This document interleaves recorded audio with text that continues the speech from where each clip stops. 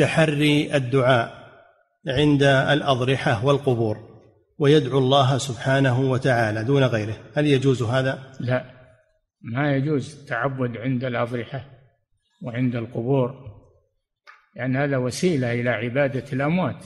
لا يجوز هذا.